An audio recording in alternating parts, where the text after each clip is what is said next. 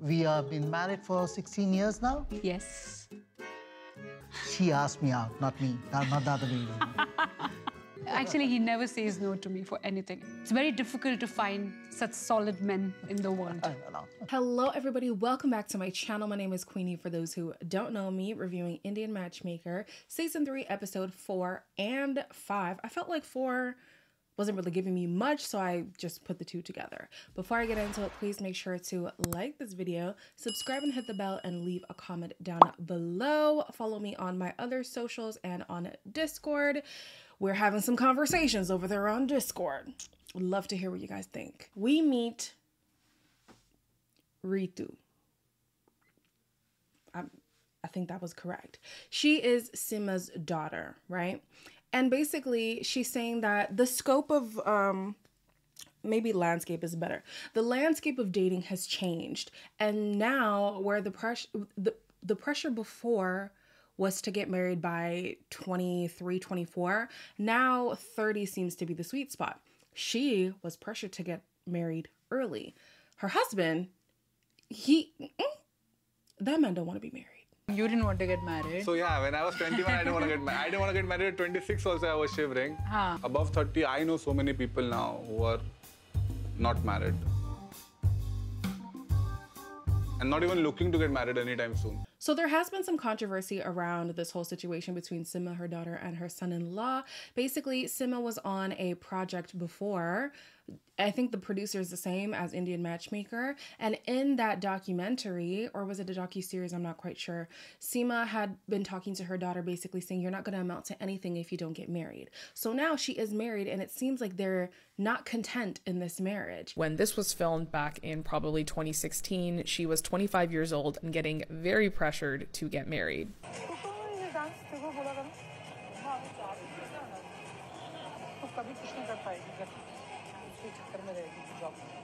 I mean, if given a choice, I would definitely want to be reborn as a European, get married post 40s or even if I have to. If not her, somebody else. So, yeah. Fast forward to their appearance in season three, we see that they have a kid together and they're talking about how a lot of his friends in Dubai are over 30 and not married. And even if he had the choice, he still wouldn't be. And she even makes that statement that fact checks with the clip from the documentary. yes, they do believe in you know marriage being something that they wanted to engage in, but maybe they felt rushed into it. The husband is definitely envious of his friends who are the same age and who are living the bachelor life. He's he clearly wants to be living that life. So, yeah, this is really interesting. I think Sima has come a long way just off of what I see. I don't know her personally, but I think she's come a long way in being accepting of the times and how things are changing and stuff. But that must be hard as daughter to feel like your free will was taken from you, right?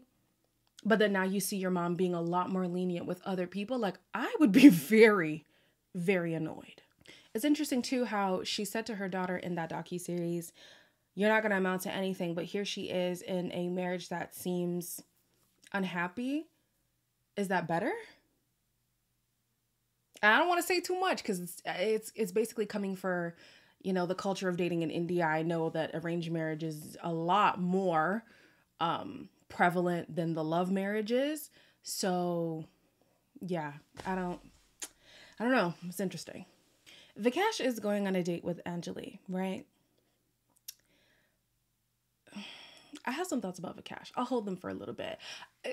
According to these two, the date went well. She's social and she stays close by. She doesn't know Hindi. So that was a compromise he had to do. But he gets all the other criterias. I think he helped, you know, pull me out of my shell a little more, and so we had a, a fun conversation. So yeah, it'd be fun to hang out again. I think she's like calming. Like there's something about her that just like I felt comfortable being myself. So I don't know about you guys, but I'm getting the sense that he would rather not be married. I think I think his pickiness might be a mask for something, and if he was to get married, it'd be more of a beard situation rather than actually wanting to be married. I don't know. I'm not going to say too much. I'm going to leave it there because I don't want to judge people on how they present. He liked the date. She liked the date. They went on a few more dates. They went on three dates to be specific. After the three dates, he said, mm, Yeah, not for me. His reasoning was that because they have about eight year difference, I think she's 31 and he's 39, he doesn't understand why somebody so young would want to be with him and the things that he's looking for. Yes, she matches the criteria, but just the seriousness of marriage, she likely would not match. So he almost feels like, yeah, she doesn't measure up, but then it also is a pity situation because why is somebody so young wanting to date me? I don't know. His reasons didn't really make sense, but that's his justification for not moving things along. If that's what you say, then sure, let's let's go with that. Priya is now on her third match. Things didn't work out with Bobby. Things didn't work out with the second guy. I don't even remember his name, but Vim might be third time's a charm, honestly. He fits everything she's looking for down to the top knot. And if it doesn't work out, honestly, Priya, you're the problem. Vimal is an excellent boy, tall, good looking, Gujarati, and most importantly, he's a very extrovert person and a very creative, just like Priya. Are you competitive? I think I beat you. You are totally competitive. Slightly, slightly. She's funny, and then I think she's got a smile to die for. I'm excited to see where this could possibly go. I I've got, I've got a, I've got a, a good feeling about this one. These two have the same energy, they have the same interest. There was a lot more banter on this conversation. It didn't feel like an interview and it didn't feel overpowering. I feel like the second one was like an interview, and the first one with Bobby to her was overpowering. So this one was a nice balance between the two, getting to know each other, but still having that energy and lively conversation. She later talks to her friends and she says that the reason why things didn't work with Bobby was definitely aesthetics. He's a small guy, even though she's tall. he's taller than her. And also, she had formed her opinion on Bobby before she even met him. She knew that Sima had him as a client, so she knew who he was. So when Bobby came through the door, she was like, oh, okay. And I'm like, damn, well, Bobby really didn't stand a chance because he was already written off before she even met him in person. But things with Vim seem to be good so far. I have my thoughts on him. We're going to talk about it a little bit later. But so far, so good. Rushali has a conversation with her friends. Majority of her friends are male. That's who she connects with most, right? And so one of those friends she's been close to for 12 years now, but it took 10 years for her to be vulnerable with him. 10 years wow. They all call her out. There's about four of them. They all call her out on being super picky, very particular, and is going to have a hard time dating.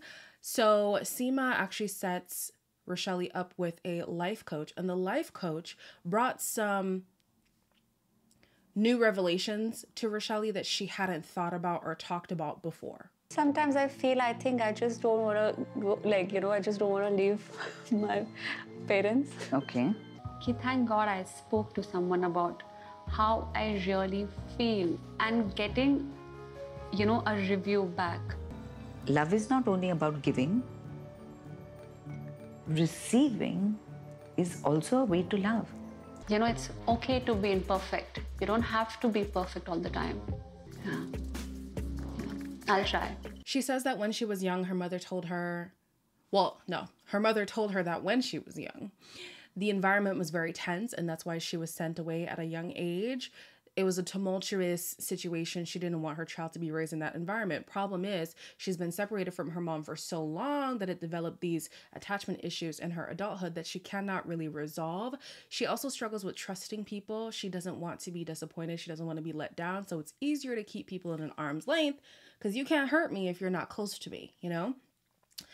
I wonder if she's ever going to work through it. I don't think it's an issue for her to just be single and live with her parents if that's what she wants to do. If that's her life goal, that's fine. I don't really know if a relationship is something she actually wants because she seems content with the way that her life is going. If she was to get in a relationship, I think she'd be forcing it. But yeah, if she does want a relationship, there's a lot of inner work that needs to be done. I think if she's not in a place to do that, just be single. That's fine too. Maybe it's not fine yeah, maybe culturally it's not fine, but like Western world, that's okay. Aashay has been expanding uh, Viral's horizons And her high strung nature is dying down a little bit, and she's learning to go with the flow. I'm not a risk taker. Yeah. And now you're in my life, and now I'm taking risks. Remember, go with the flow. They're like, oh, she's a, she's a nice girl. She's uh, very like ambitious and driven. Thank you. That's a good thing. Yeah. Yeah. Yeah. When I started this whole process, I was like, I went on one date a year, and now I'm like, I have the best boyfriend ever. He's the best. He really is the best. You know, Sima might have her first documented success story. Because, honey, it has been three seasons and we have yet to see her match somebody who makes it down the aisle. She says she's the best in Mumbai. Some of you guys were saying she's not the best in India, but she doesn't say she's the best in India. She sh- she says she's the best in Mumbai. Um, it's unfortunate that I don't root for this relationship. I don't. Something about Aashay, I just don't think he's serious. I really, I really, really do not.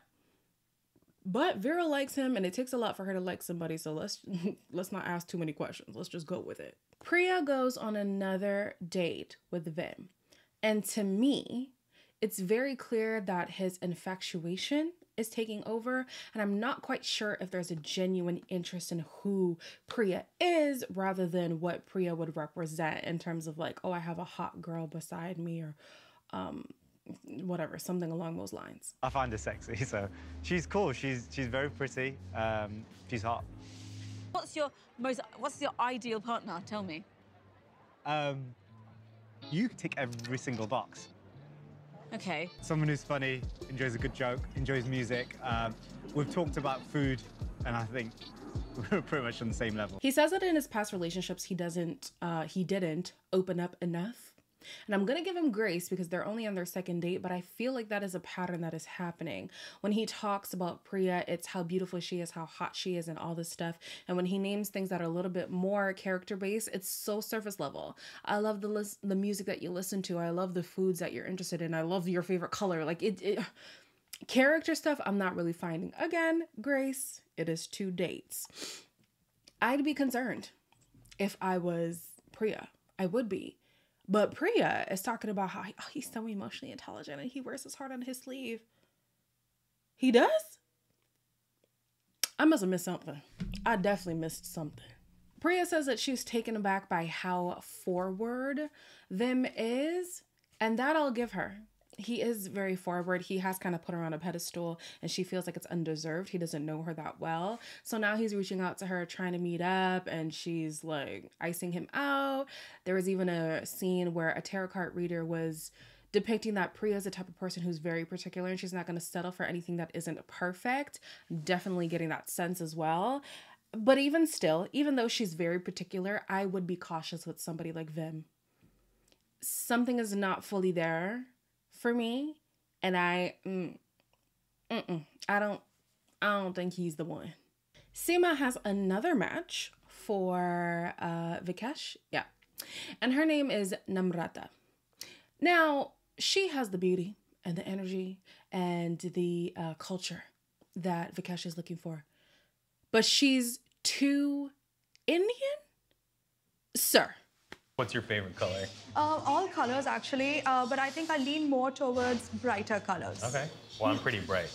If you were to have an adjective that started with the first letter of your first name to describe yourself, what would it be? I actually think we do have some similar interests, which is nice, but uh, I felt like it was just an interview and there wasn't any like banter. I just was picking up on a little bit of her being very Indian. Ideally, I would like someone who doesn't have an accent. How are you gonna have? Oh, Vikesh is gonna piss me off now. Vikesh is gonna piss me off now. How do you want a woman who has all these things that are tied to being Indian? You want her to be a fluent Hindi speaker, if I'm not mistaken. But now she comes, has all these things that you're saying you're looking for. She's too Indian. He doesn't like the fact that she has an Indian accent. Be for real. Be for real. So maybe I shouldn't even put his sexuality into question. It should be his um his belief of himself because it might be self-hate. You got a problem with an Indian woman having an Indian accent as an Indian? that is so weird. That is so weird to me. Now ask somebody who comes from a a country where we have a very particular accent. I'm not gonna lie. Sometimes it does throw me off a little bit, but I'm not gonna write somebody off because they're too Zimbabwean.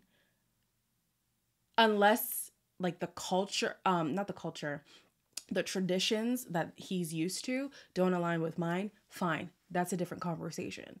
But you're too Vikash, just get off my screen, please. I'm over it. So we haven't seen Chatel in a while. She's from season two and she's partnered with Ooh, what's his name? I want to say Vero, but I don't think that's his name. Let's let's forget his name for now. She was very picky. She was unable to connect with any of Sima's matches, so her sister actually matched her up with one of her friends. They hit it off. Now it's time to meet the parents, and the meeting went very well. I've never introduced anyone to my parents. I never felt like anyone that I dated was worthy. For Sheetal, I was looking maybe some somebody like uh, Clint East- Eastwood. Oh God, you're going here right now? Miami Vice, Miami guy. Miami Vice, I know, that was great. If Seetal say next month, I'm ready. If she says tomorrow, we got no problem. The parents are not wasting any time. They say, "Girl, if you want to get married tomorrow, uh, we could do that. We could arrange that in a month. That's okay. We can work that out too." you know they have been through it when it comes to their daughter. But yeah, I was like, okay, it seems like things are going really well. Let's move to the next step, which I thought would be engagement. They're moving in. Okay. I mean, sure, they were doing long distance, so I guess this is the way for them to be together. But I'm like, if you were in a process with Sima, the the impression for me would be that you want to get married. I feel like you're kind of I don't know. I don't know. I don't know. I think she's dragging it by moving in with this person. I think you should know whether or not you want to get married, considering the fact that they're engulfed in the dating culture of like in the Indian dating culture. Western dating culture, I think moving in does make sense, but like Indian dating culture, it's like, why aren't they getting married? So yeah, I'm kind of conflicted.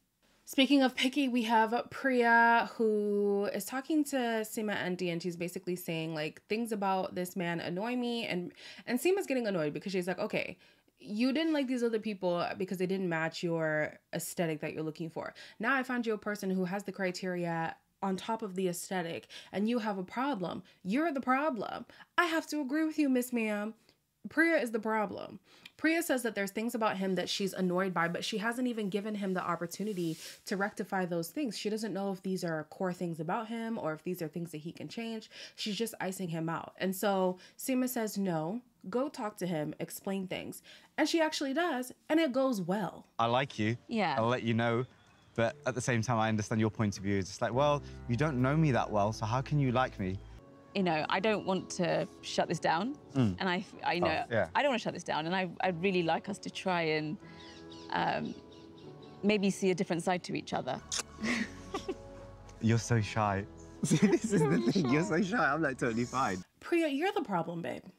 You you are the problem. But thankfully, Vim is saying, listen, we can talk things out. We're mature adults. Don't fear what comes with relationships. One of those things is communication. You know what I mean? So, yeah, he's just saying, uh, let loose, allow yourself to lean in. It's totally fine. I agree. She does need to lean in a little bit more. Should she lean into Vim? No but it is what it is. The episode, um, well, that's what the episode ended with, but I'm gonna end this video with us meeting Aarti. Yeah. She's very career focused, and now, four months after her father's passing, she was a daddy's girl, and he really wanted to see her get married. He is now four months past, and she's really taking this husband search seriously. You're gonna end up with like all the divorcees. I'm like, that sounds like a great pool. Can I wait for that one? My dad was a jeweler, and he said, one day when you're ready and you find someone that's right for you, I'll design your ring.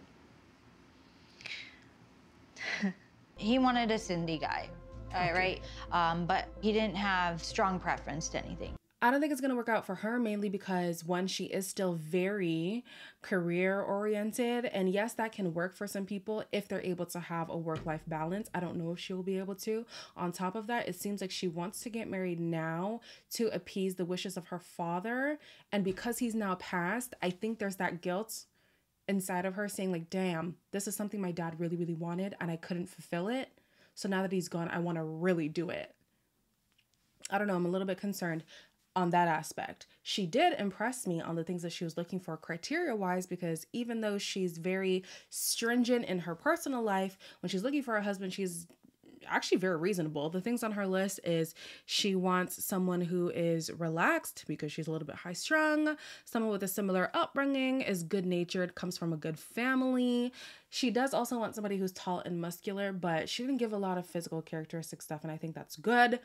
We'll see with Aarti. There there might be hope. My my my concern is the doing it because her dad wanted her to and not because she wants to. But we'll see. As always, like, comment, share, and subscribe. And I'll see you guys in the next one.